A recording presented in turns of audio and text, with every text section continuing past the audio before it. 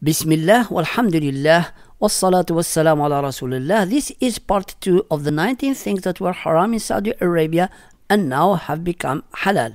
And before moving forward, I'd like to give you a little bit of heads up about the history of Saudi Arabia so that you understand how these people, the scholars at least, think and why they do what they do. Because by understanding that, we can understand the version of Islam that we are having today. Modern Saudi Arabia is in its third state. There was Saudi Arabia number one, Saudi, and then it fell by Muhammad ibn Abdul Wahab, then got annihilated by the Turks and the Egyptians. Number two, also the same thing because of the uh, emirs, the different uh, members of the family of household of Al Saud. They got rich, so they started battling out between themselves, and they lost Saudi Arabia. And now this is the third installment of Saudi Arabia. This stall or this state here was built in 1932 and it was announced as the Kingdom of Saudi Arabia back then. But in 1902, that's when King Abdul Aziz, one of the sons of Al Saud, uh, whose children now are ruling Saudi Arabia, conquered the city of Riyadh, the capital today, to build what's known today as Kingdom of Saudi Arabia. Initially, it was known as the county or the principality of Riyadh. Back then, the tribes were still in battles, and El Saud, through betrayals and tricks and all those things, the, with the English uh, help, with the British help, they led a coalition of wars against every tribe out there, and there was a lot of blood that was shed for the Saudi Arabia to reach where it is today, just like pretty much the United States and the Native Americans and what they did to them. Thousands upon thousands of Muslims were slain, lands set on fire, mass betrayals and killings by the Saudi family until uh, the erection of the kingdom in 1932. King Abdul Aziz was advised by a group of British advisors that if you wish to take over and build a kingdom, then without any confrontation with the other tribes so that you go slowly about it, then you need to use the religion card by calling people or by assuming you as a leader that you want to bring people back to the Wahhabism teachings that were before in Kingdom 1 and 2. And that's exactly what he did. The people at that time were very tribal and very much under the influence of Wahhabism movement back then, which has been dominating the area for around 200 years and more in our time.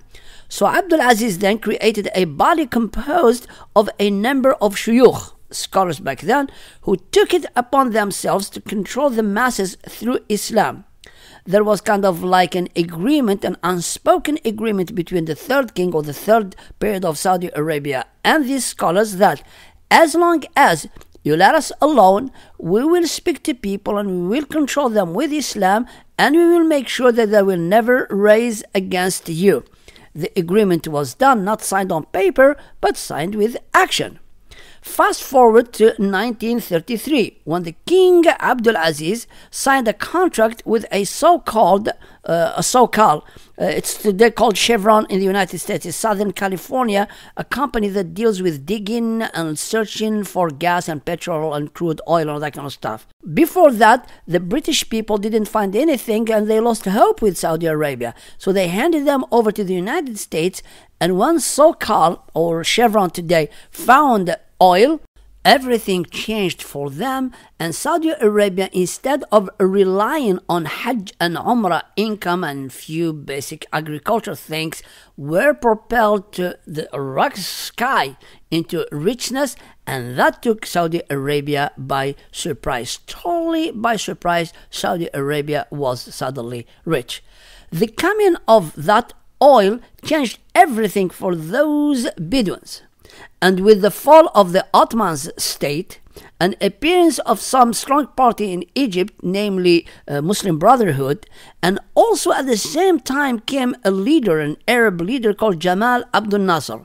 This Jamal Abdel Nasser, what he did in 1952, he led the army and people, and they overthrew the king of Egypt. Saudi Arabians, the king and all that, got extremely scared. Because King Abdul Aziz back then had his own problems with the, the brotherhood of those who obeyed Allah, Ikhwan man Allah. And he was kind of like concerned that he's going to be overthrown.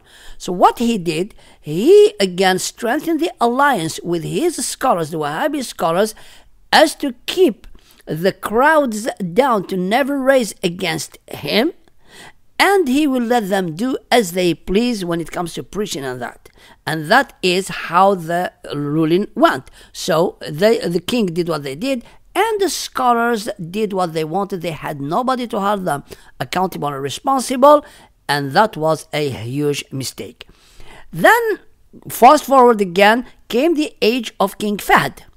Fahd, who was king from 1982 till 2005.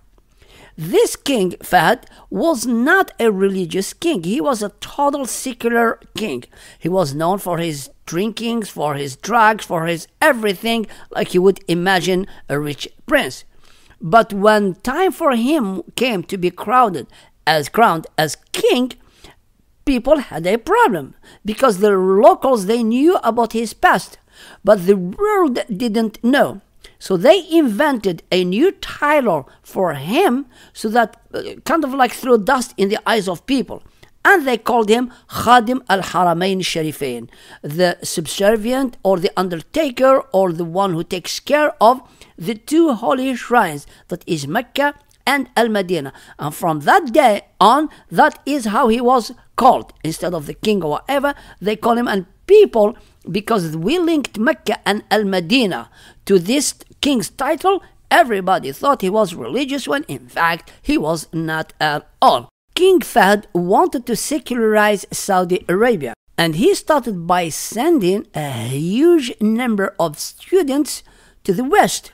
And he was hoping that these students will come here and they will learn from Westerners how the West run their countries, either here or America or France, wherever.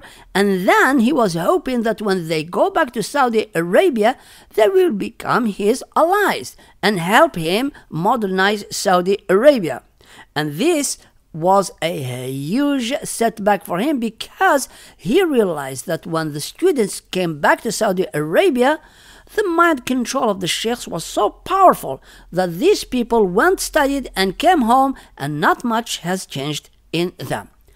In 1979, an event took place in Saudi Arabia and especially and precisely in Mecca, and that event turned Saudi Arabia into the biggest cage humans can live in under the boots and dictatorship of the shuyukh or the religious institution. And that is when Juhayman al Utaybi's incident came to play.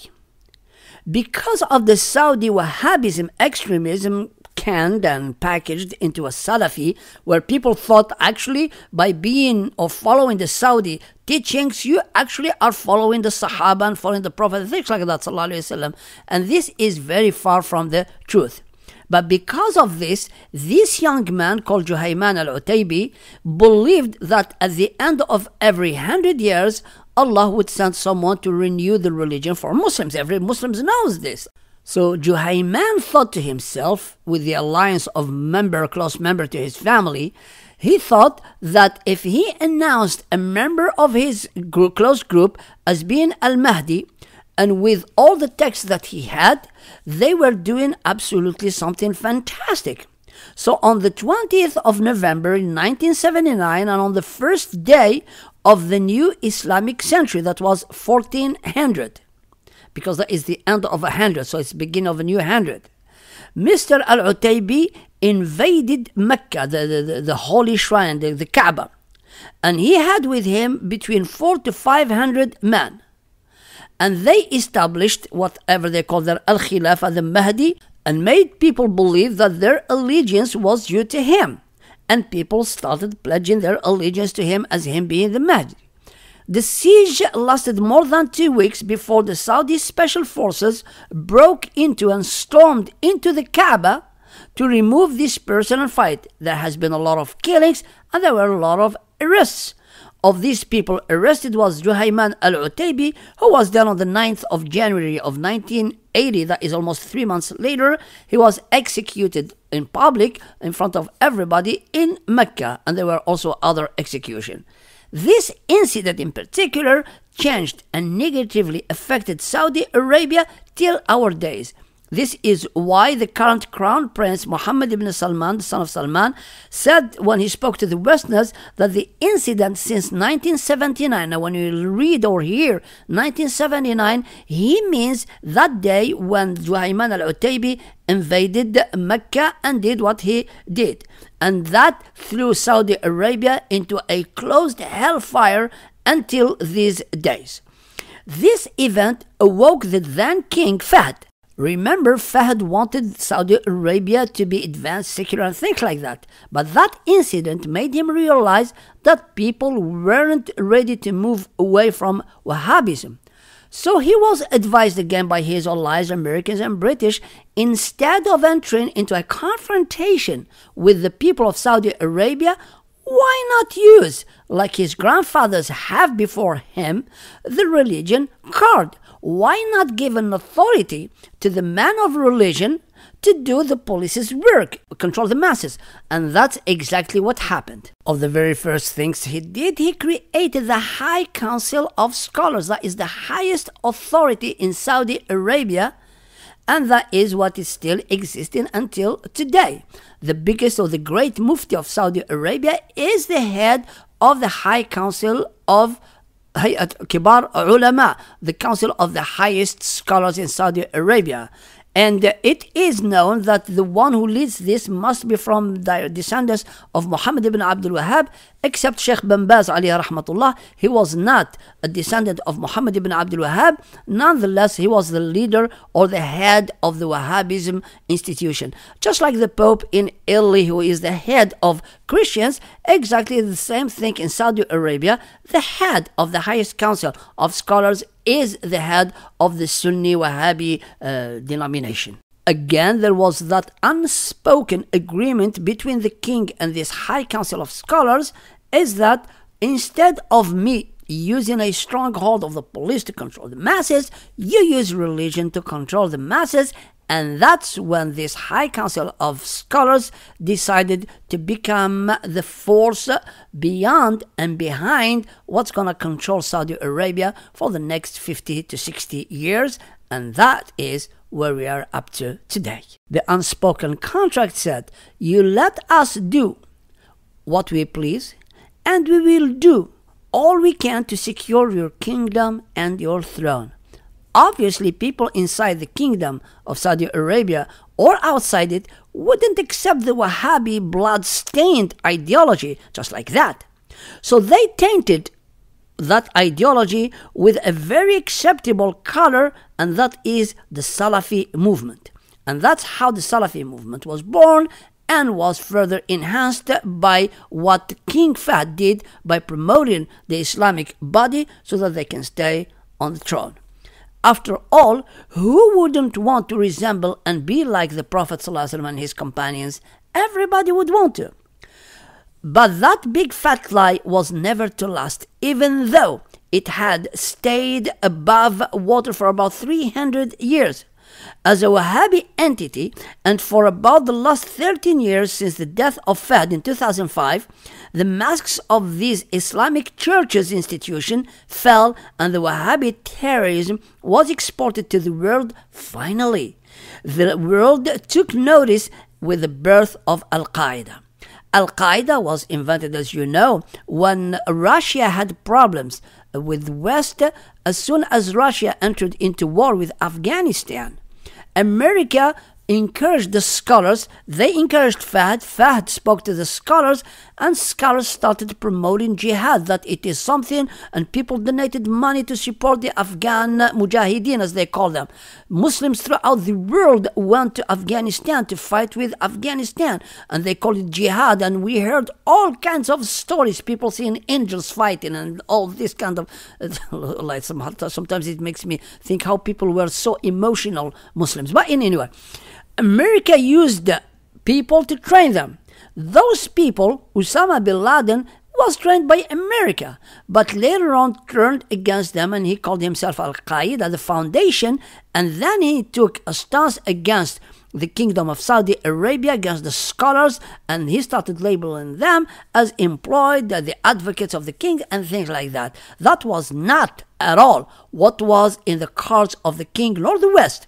Again, this is why the crown prince Mohammed, son of Salman, made sure that people understood that the 1979 event of the invasion of the Haram Mecca and the, the presence of Al Qaeda that created a huge crack between Islam and the West, they needed to stop. And he made sure and he promised that he's going to end this kind of things.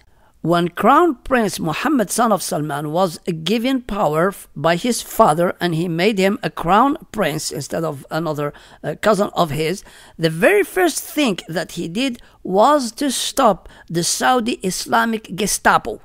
And I call it Gestapo because this religious institution did exactly what the Gestapo did uh, when Adolf Hitler uh, times, and but they did it in the name of Islam. It is well accepted and acknowledged within the realm of Saudi Arabia uh, household Al Saud that the Islamic institution are nothing else but the iron stick in the hands of the religious body of Saudi Arabia also known as Hayat al-Amr bil-Ma'ruf wa Nahy al-Munkar, the Committee for the Promotion of Virtue and the Prevention of Vice. It is the official government agency or as it's also mentioned and referred to in Saudi Arabia, the religious police. What I'm saying might surprise you and shock you, but it's the plain truth. And all what I mentioned wouldn't have mattered if it was left within the walls of the kingdom of Saudi Arabia. But because the Saudis see themselves today as the only true followers of Islam, while anyone who is not branded Salafi and follows exactly what they are preaching is either a kafir disbeliever, mushrik, idolaters, or mubtadi'. Mubtadi' is an innovator, and for them, all of these are not going to make it to Jannah. So they took it upon themselves, the Saudis, that they should export their version of Islam to the world over. And with it, they exported extremism. They financed mosques, established charities, and even took natives from England, France, and all over the world and took them to the universities in Saudi Arabia and turned them into imams. But what they turned them into is really preachers and guardians of the kingdom of Saudi Arabia's thrones. You find an Englishman that always grew up in England and has all the cultures and customs and everything, goes to Saudi Arabia for three years and becomes completely changed into he is externally an English, but internally has turned into a Saudi person. It's sad, but it's true. And just like that, the religious and worldly backwardness which plagued the kingdom of Saudi Arabia for decades and years suddenly found its way into our lives in the West. And as sad as it can get, we find Muslims today so brainwashed in the West that you think these people live in the Stone Age. Now, my dear sisters and my brothers, that you have got a pretty good idea about the whole thing, let us look at what these priests, the Muslim priests, I mean, did to our beautiful Islam and how they turned it into a living hell, full of personal doubts, belittlings, and insults of anyone that doesn't go along with the Saudi beliefs, and how they turned us into uh, humans chasing our own tail by picturing to us Allah Ta'ala that no matter what we did, He would never ever be pleased with us and that we are doomed for eternity. And in order for our scholars to proceed safely, they needed to create a safety net for themselves so that nobody ever dares to question them or hold them accountable for what they do. So they promoted worldwide that the flesh of scholars is poisonous. لحوم العلماء مسمومة anytime you want to say something, someone is going to turn to you and says that the flesh of scholars is poisoned. And I am very sure that you've heard this at one point in your life. And the big surprise that this statement that the flesh of scholars is poisoned is not a hadith. It doesn't exist in Al Quran. all what it is is that some scholars who lived some 850 years ago who exists in 1176, his name is Ibn Asakir, has said this sentence in defense of somebody else. And then that sentence was liked by somebody, and here we are today. Anytime you want to say something or reject an argument of a scholar says something, they slap you on the face with the flesh of scholars is poisoned. Now you might ask yourself, why did I choose the term chameleon sheikhs? Is this an insult? No, it's not an insult. It is just a description of the state of our shuyukh today. Because chameleons change their colors to help them keep their body temperature at a comfortable level to their liking. Dark colors absorb light, therefore heat. And uh, they also self express themselves depending on their mood. They'll darken their color when fearful and brighten their colors when excited. And that is exactly, if someone doesn't speak the truth or can't hold uh, uh, their place, they always tell them you've got a chameleon tongue. You change all the time. So our scholars do have that. They go with what the government says. If the government wants to paint Saudi Arabia red, and subsequently the rest of the world red, then the scholars will change to that color. If the government wants to paint Saudi Arabia blue and subsequently the world, because we believe, we think like it comes from Saudi Arabia, if all people in Saudi Arabia where Islam started behaving certain way, then we take it like that's it, that's how it should be. So that's why they are chameleons. They are not with the book of Allah, they change with their government. So let us inaugurate the 19 things that Saudi Arabia at one point deemed haram and nowadays they are halal and actually people in Saudi Arabia do not care anymore about this religious institution. Number one is the hand clapping or applause this was and still is promoted as haram deed. Ibn Baz alayhi rahmatullah, the highest leader or the head of the uh, High Council of Scholars in Saudi Arabia, issued when he was asked about the ruling on hand clapping and applause. Would you believe it? People in Islam ask about hand clapping. Wallahi it's, it's, it's strange and unbelievable. He answered that the translation is from me. Hand clapping in celebrations is an act from the act of Jahiliyyah, in the pre Islamic times. And then he said, the least that can be said about it is disliked. But the most apparent from the evidences is it's tahrim, i.e., it's haram. Remember what I said about the haram that Allah utters it in the Quran that it is haram? Does Allah says that hand clapping is haram? Of course not. But here you are today in Saudi Arabia, wherever you go, even if something happens, you will not find people clapping, and Muslims do not clap. So much so that when you clap your hand, it seems strange and peculiar. And again, his evidence was because Muslims are prohibited from copying the kuffar. Also, clapping is resembling women as well. And all this is prohibited. Again, this is in uh, Ibn Baz's fatwa in the compilation, volume 4, page 151. Al Albani rahmatullah also holds the same argument. But is that really haram? No, it is not at all. Now in Saudi Arabia, people clap their hands and worldwide clap their hands, and clapping the hands is not haram at all. Second element, chess playing. From Ibn Taymiyyah to Ibn al-Qayyim al-Jawziyah to al-Qurtubi and, and the High Council of Scholars in Kingdom of Saudi Arabia, they all agree that chess playing is haram. And this includes all big scholars of Saudi Arabia. So when I say the High Council of Scholars in Saudi Arabia, I mean every single person there is of this argument. Now, today it's halal.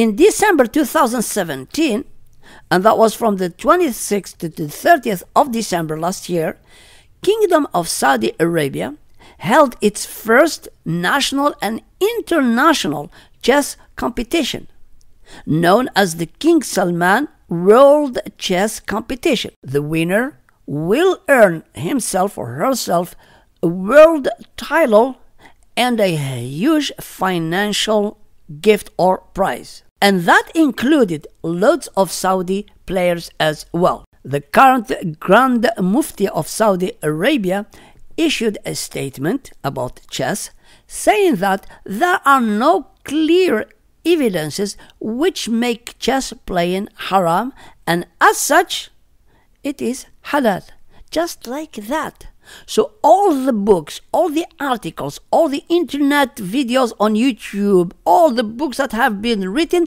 just like a swoop with an ice cream spoon gone to dust.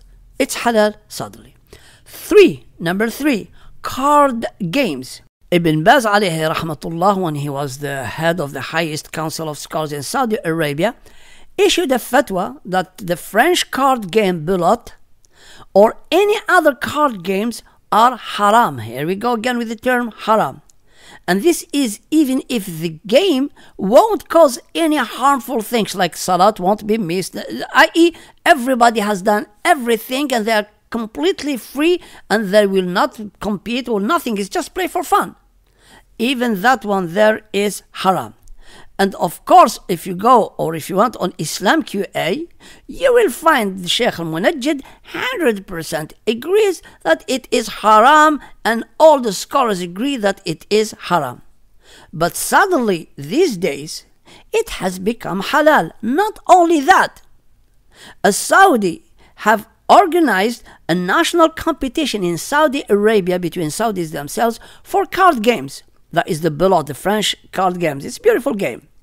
The first one is going to win 134,000 US dollar, the first team, because they play in twos. The second team is going to win $67,000. And the third team is going to win $40,000. For those interested, unless you are Saudi, the competition will take place next month, uh, April 2018. Isn't that amazing? And now all of it is halal. So let's do how are we gonna deal with all the articles out there with names of big sheikhs that made card games haram, even with your family.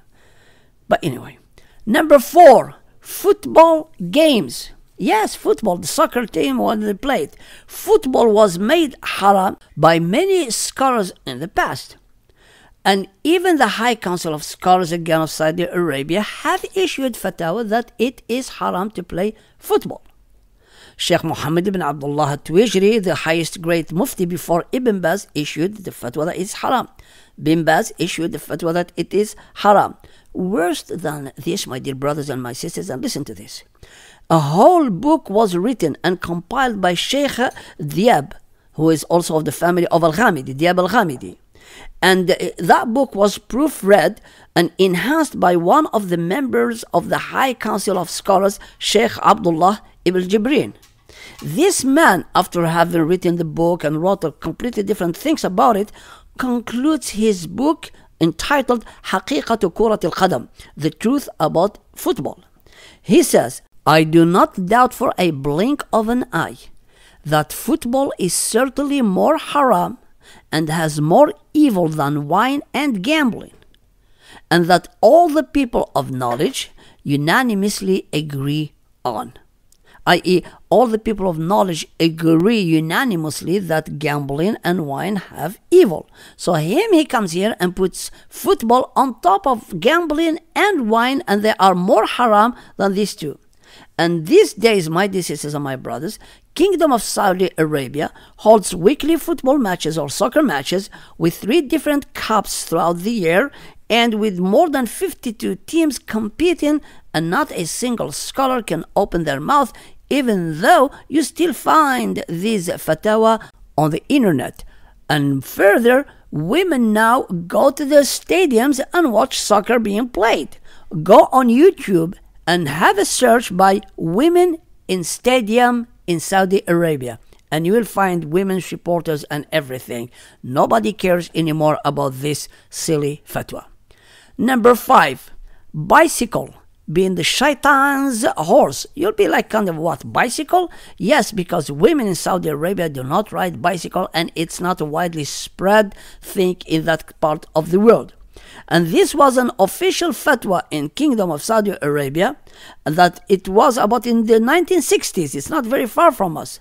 And that was the bicycle was the shaitan's horse. Now, the male gender in Saudi Arabia doesn't care much about that. They ride bicycle, more bicycle. And the next big step is that women want to get into the bicycle riding. And pretty soon, there will be a national competition of cyclists. And amongst them, women will be there competing also for the national title. Watch this space.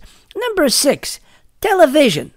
Just having a television set at home was ruled haram in kingdom of Saudi Arabia and it was not something debatable at all. A plethora of Wahhabi sheikhs have not only described it as an evil, but they also talked about it in a very strange way. One of them calls the television as a cursed shaitan in the house of Muslims, and that's Al Albani when he was working in Saudi Arabia. Anyone who dies, Ibn Uthaymeen further says, in the meaning.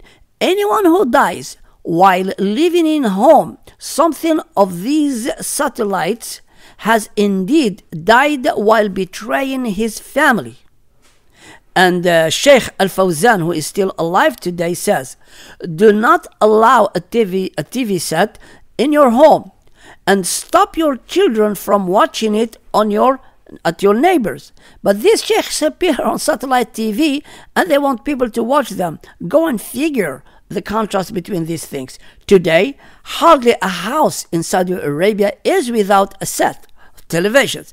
It's on the streets, inside shopping malls, parking lots, and everywhere you go, a television is there.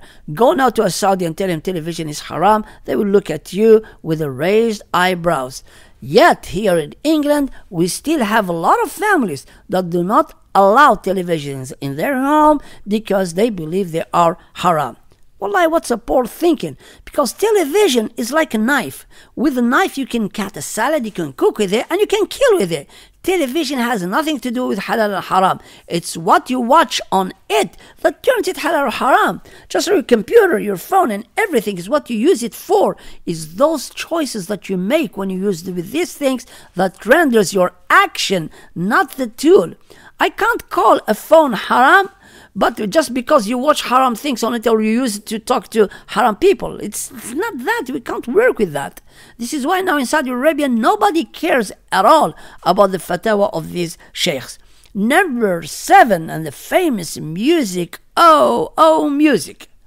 The amount of headaches Muslims got and still are getting, and how the Muslim rabbis and monks acted towards music is unbelievable. Type on your search engine music and you will find 101 billion things that music is haram, haram, haram.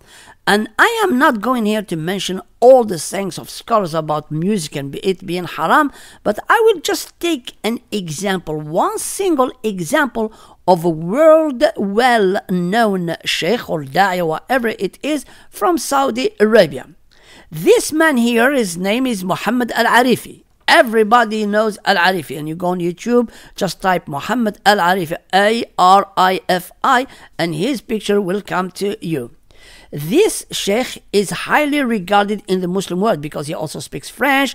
Uh, if he doesn't, there is uh, the Mufti Menk, he translates for him. So they, they have a good friendship together because they share the same beliefs and everything. But anyway, this sheikh one uh, on television was asked about the ruling on music. If you went on YouTube, in 2013 and 14 and 15, he issued the following when asked about music, he says, الأدلة كثيرة على تحريم الموسيقى. There are lots of evidences that make music haram.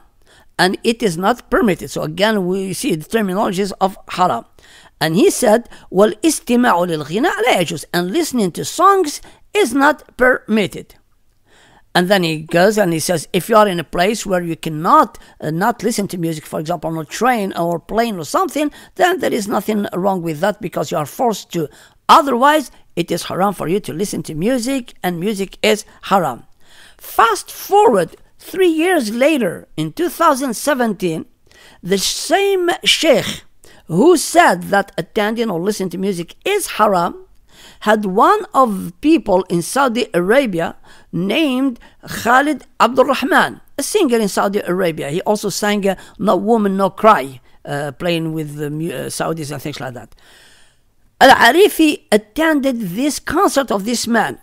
And when the man finished singing, Al Arifi was uh, climbed the stage and picked up the microphone and delivered a small talk. He says, أنا صراحة مسرور بهذا اللقاء. I am really truly very happy with this meeting. ومسرور جدا بأخي وصديقي أنا I am very pleased with the performance and with my brother and my friend.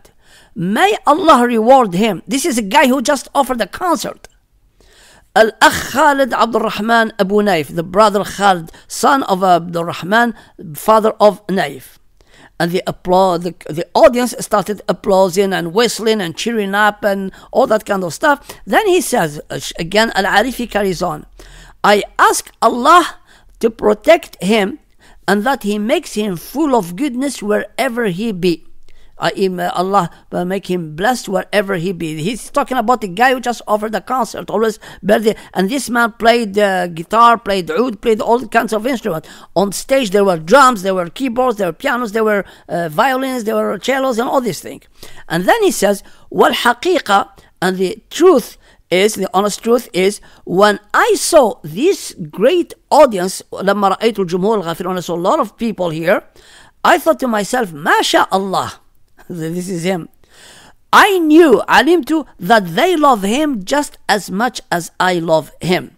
And then he makes dua for this singer, wa as'alullah, and I beg of Allah, just as he made the people of earth love him, I ask him to make the people of heaven, the angels, love the singer. And then he went on mentioning the hadith in Bukhari Muslim when Allah loves somebody, Allah calls on Jibril, Ya Jibril, I love so and so, so love him. And Jibril loves him, then Jibril calls in the heavens to all the angels that Allah loves so and so, you love him, so that all the angels in the heavens love him, and then Allah puts acceptance for him on earth. Who that was all about, Ya Sheikh Al Arifi? About a singer. And that singer couple years ago you were saying it is completely haram. So what has changed? What has changed? Now in Saudi Arabia, Al-Mughamisi and Al-Hatim and so many great number of scholars nowadays are issuing fatwa that it is halal. Even the Grand Mufti of Saudi Arabia, who is a direct descendant of uh, the, uh, Imam Muhammad ibn Abdul Wahhab, Muhammad al-Wahhabi thing, he said uh, Saudi Arabia held a national festival for jazz and he issued a fatwa that jazz and the music like this are halal and it is no problem at all having concerts and things like that. This is why in 2017 there were two full concerts. One of them by somebody called Khalid, an Algerian singer who lives in France, and this guy uh, sings love songs and always in his songs says you wouldn't want to listen to these songs with your daughter or with your mother, things like that and he sang and he went to Saudi Arabia. Daytime he went to Mecca to make a Umrah, and in the evening, one hour away in Jeddah, he held a concert. That concert was for 10,000 young Saudi men. Tickets were from $27 to $120. Also with uh, Cheb Khaled was another rap singer from the United States whose name is Nelly, a rap singer. And again, that was the whole thing for the whole evening for 10,000 people. Also, in Riyadh in the same year, in 2017, the first concert for ladies, where 3,000 women, girls of all different ages, were entertained by a female singer, Balqis from the United Arab Emirates, and the concert went for three hours. Then came the turn of a mixed concert by a band, a Miami band in Saudi Arabia. This is local ones, but they were modern ones. So they sing in the Saudi songs with uh, instruments like drums, piano, guitars, and things like that. Well, women were on one part of the uh, hall, and men were on the other part of the hall, and they had dancing place in between them too. Then, we, before you know it, everybody was dancing, male and female. Just go on YouTube and search for concerts in Saudi Arabia, and you will know that. And nobody, not a single one, issued any statement or any fatwa that what's being done is haram. Suddenly, music is halal, my dear brothers and my sisters. So never ask that one there at all. And subhanallah. Number eight, the abaya or the loose outer garment without sleeves that some women put this like they put it on their head and then they drop it on their body. The current law obliges or in the previous uh, law it obliged women and forced them to wear the abaya in public places for an endless numbers of decades that held a huge number of fatwa that prohibited women from showing even the smallest part of their body a nail. This is why Saudi women have to wear, or the majority, if possible, to wear gloves, black gloves, even uh, if the it's like 50 degrees Celsius heat. Still, a woman must be completely covered and wearing gloves.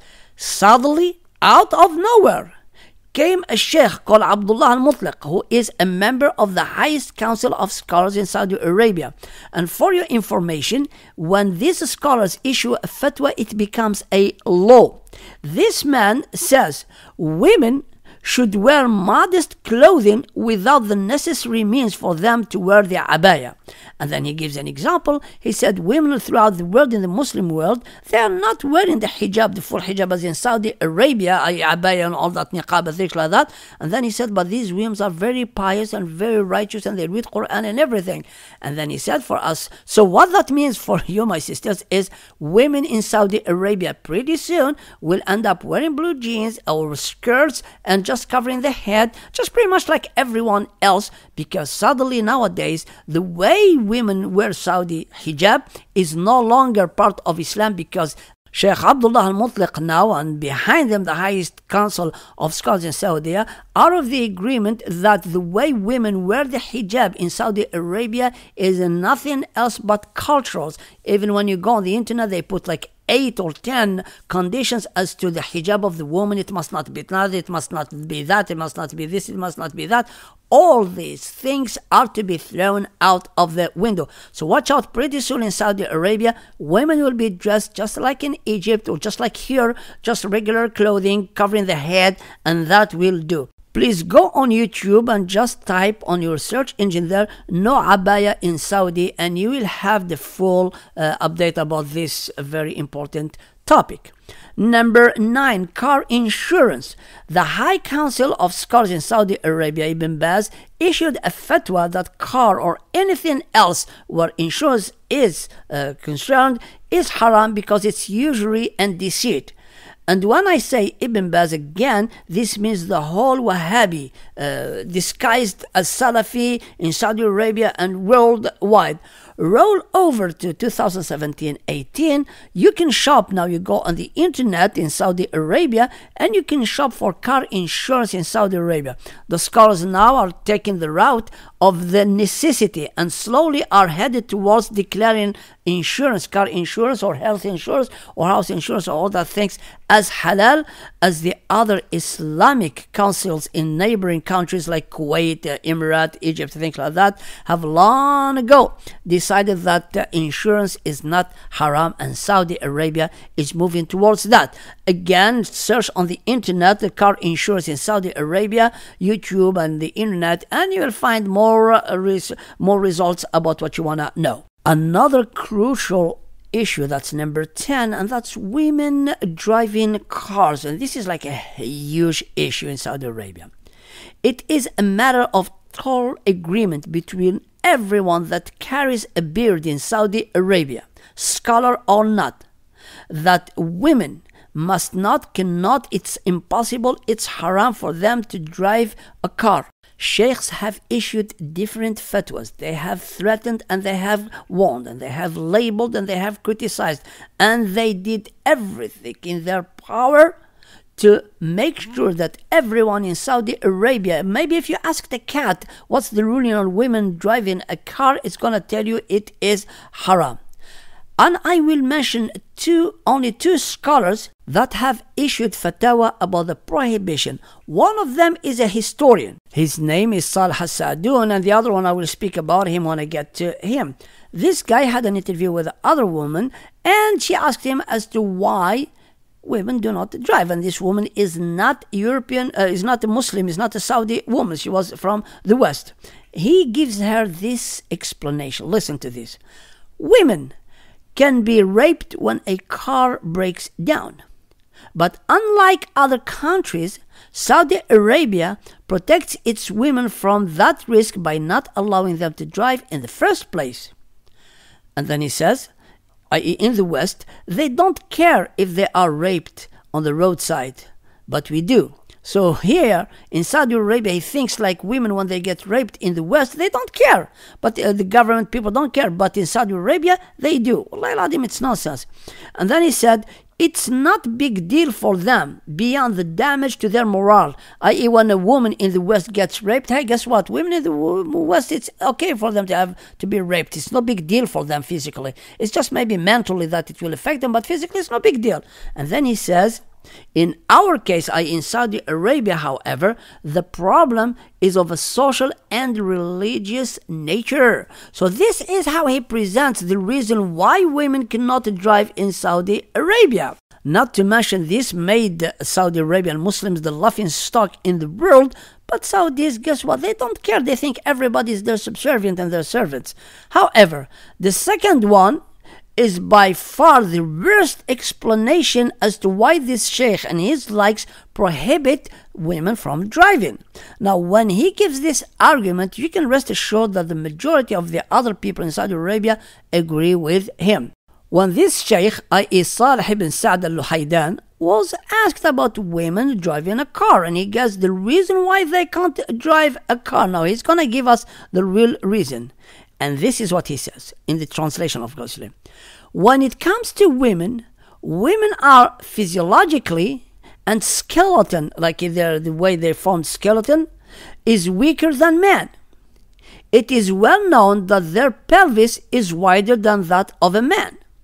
For a wisdom only be known to Allah Most High to provide a space for the fetus, for pregnancy and the birth. And then he said, But when she drives a car, her mind will be preoccupied, her thinking process too, and the same for her intellect.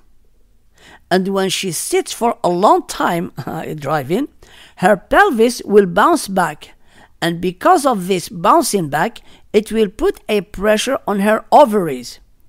This is why in America, France, and Europe, with a woman you will find only two or three children and that is not because of family planning, but rather because of functional disorder of her ovaries. This is the conclusion I have reached. Today, the highest council in Saudi Arabia issues a fatwa that women can drive because there is nothing in Islam that prohibits a woman from driving. And this idiot of a sheikh talks about ovaries. Uh, it's like, it's unbelievable. Those sheikhs, the Wahhabi sheikhs, they have not moved out of their town to watch the world that women have been driving for hundreds of years, like for whatever known, and none of them. And he hasn't seen the Irish, he hasn't seen in America, people have seven families and he doesn't know of English people who have more than four or five. But this is the mentality of the sick people in Saudi Arabia who exported their sickness to us in the West. This man is not at all with it. Again, quickly because the time is running on me. Number 11, physical presence outside and fitness.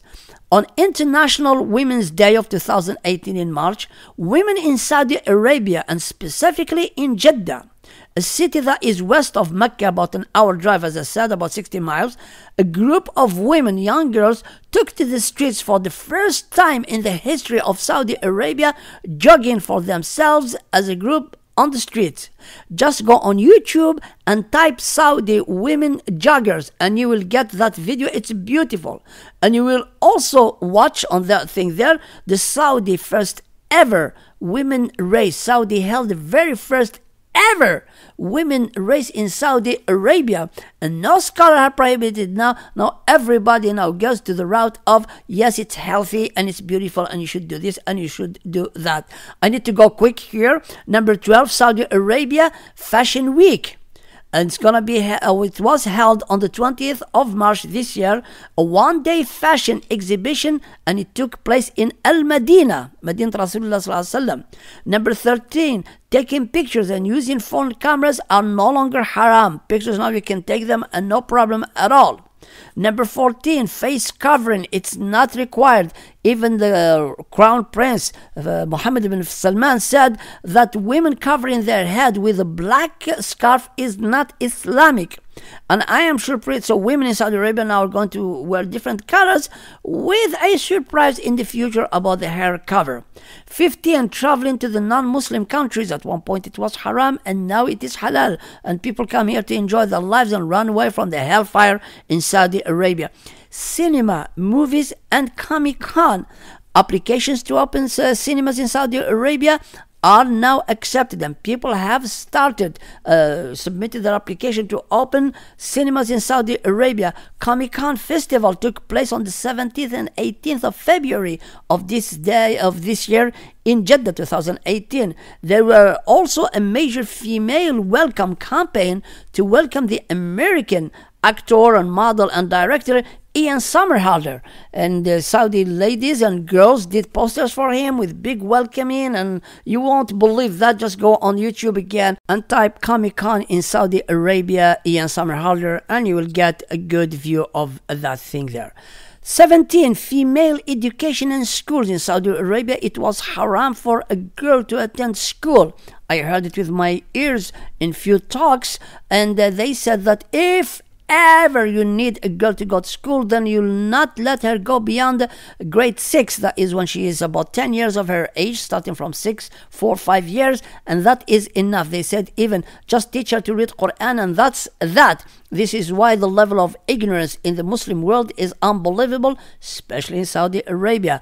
Uh, that is 17. 18. Hairstyling for women, wearing pants, trousers for men.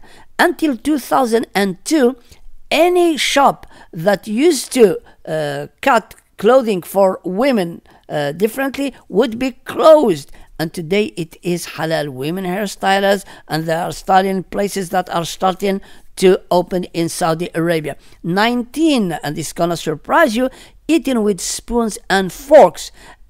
In Saudi Arabia, the reason why they eat with their hands because there is a fatwa that makes eating with a spoon, fork, and cutting with a knife and things like that as haram because they say to you, الملاعق للرحمن كفران Using a spoon to eat is denying the goodness of Allah, and that is haram because Allah gave you fingers to eat with. Why do you eat with spoons and forks? It is haram because you compete with the creation of Allah.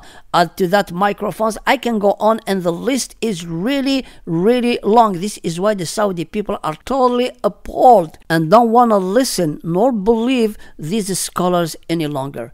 Believe it or not, the way scholars see themselves is as Ibn Taymiyyah has defined them countless times in his book when he said that these people, i.e., the scholars, are the spokespeople on behalf of Allah.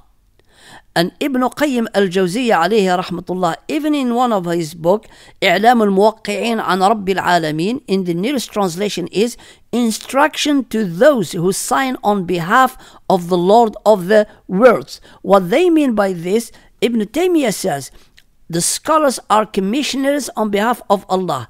They act officially on behalf of Allah. They are Allah's ambassadors on earth. They speak on His behalf, they execute on His behalf, and even sign on His behalf. In other words, what He's saying is this what they say is what Allah says, and as such, what they see is what Allah sees. What they want is what Allah wants, and you cannot you cannot say no because saying no to the scholars is exactly as saying no to Allah.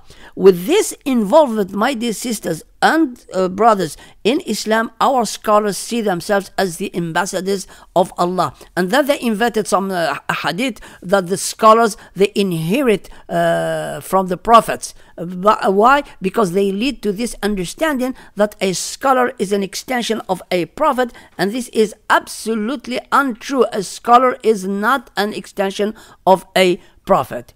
I want to end this talk with something it's sad. It saddens me. I'm happy Saudi Arabia is changing, but I am very sad that it was not because of Islam that they changed, but because of what the United States had put on the table, saying to them, if you want us to keep protecting and keeping you on the throne there, you want to do what we want you to do. Mr. Tillerson, the State, the Department, the, the guy who was the Foreign Minister of the United States, when asked about Saudi Arabia, said something, and I'm going to end my talk with this thing here. When asked about what it is that America is doing with Saudi Arabia to stop Wahhabism, if uh, Saudi Arabia didn't have money, believe me, all the atrocities of extremism and Wahhabism will be wiped on them. But because Saudi Arabia has wealth, even if Theresa May, the Prime Minister in Britain, they presented her with a full report of the total involvement of Saudi Arabia in all the acts of terrorism that happened in the United Kingdom, and she kept it secret. She wouldn't even give it to anyone. That's because money talks. This guy, uh, Tillerson, says one of the outcomes of President Summit in Riyadh, when uh, when uh, Trump uh, visited Saudi Arabia in the big summit there, he goes, was the creation of the center to counter extreme Muslim messaging with uh, Saudi Arabia. This center now exists, so this center to counter the extremism Saudi Arabia exists. It was inaugurated while we were there. So if the center was inaugurated when Trump was there, it means the center has been spoken about and created way before then. Now, this is me saying that, but now is his way. The center has a number of elements to attack extremism around the world one of the elements that we are visiting with them, and he is very, very political about the terms he uses. Visiting with them is not like commanding whatever, but this is politics for you. He says one of the elements that we are visiting with them about, and they have already taken steps, is to publish new textbooks that go into the schools that are out there today that so advocate or that do advocate extreme Wahhabism viewpoints around the justification for violence. We have asked that not publish the new textbooks. We have asked that they retrieve the existing textbooks so we get those books back, i.e., Saudi Arabia must withdraw all the books that they issued before and put the new ones uh, in place. That is just one example, he says. And then he says, this center is going to have a very broad range from social media to broadcast to how young imams are trained in the theological centers. That's America is going to redefine and rewrite our Islam for us. The sad news is this could have done by our scholars by studying the Quran, but because these tyrants turned into rabbis and monks and made Islam a living hell for every one of us, Allah gave it to what? To non-Muslims to help Muslims find the truth in the Quran. It's sad, but that's the reality. And my dear sisters and my brothers, the truth of the matter is the Salafism, the Wahhabism, the Saudi Arabia, name it what it is. But the truth of the bottom is these people, they have made the halal extremely difficult. And that made haram extremely easy. I repeat, the scholars in Saudi Arabia, either you call them Salafis or you call them Wahhabism or you call them terrorists, you call them whatever you want to call them, because they are all one person. These people, they have made halal extremely difficult, and that made haram extremely easy. My dear sisters and my brothers, a lot of the things that you believe, as I said here, are haram are not including music, dancing. Would you imagine recently they issued a fatwa that it is permitted for women to dance to her husband alone when they are at home? Because before that it was haram for a woman to dance to her uh, for her husband. Go figure. I pray to Allah that this has opened your eyes to a lot of things and uh, I pray to Allah to bless you and make Islam beautiful as it was at the time of Rasulullah because the Islam we have today looks like nothing of that except what is in the Quran. My advice to you, stick to the Quran. People in Saudi Arabia are no longer interested to listen to the sheikhs, especially with this and uh, by the termination of that uh, body of uh, the police, the religious police and all these things. People have lost faith and trust in this religious uh, body and you don't want to end up there. You want to stick to the Quran. What's in if someone comes to you and says that is haram, the first thing you want to say it's not who said it. You say where in the Quran does it say? Believe it or not, if it's not in the Quran, smack the person with what they brought to you on their face. And imagine how many years you've wasted of your life only to now find out that music is not haram. As Shaykh al-Mughamisi said, if Allah wanted to make music haram, He would have uttered it haram. Wouldn't Allah subhanahu wa ta'ala mention something that is so haram and so dangerous to people? He didn't. Then leave people to it. And one last thing, Islam is an individual religion. It's not a group religion. My dear sisters and my brothers, observe your religion, read Al Quran, take your teachings from the Quran, save your life, save everything that you stand for by going back to the Quran, put the Quran, prioritize the Quran, and you will certainly live a happy life. I swear to you, you will. Until my next talk to you, inshallah, I pray to Allah to bless us all and help us all get the best out of our Islam. Again, this is your brother Abdul Salam Abu Hanifa. To join my group on WhatsApp, please do send me a message on 078 76 40 87 35. This talk will also be uploaded to YouTube on Islam Pep Talk.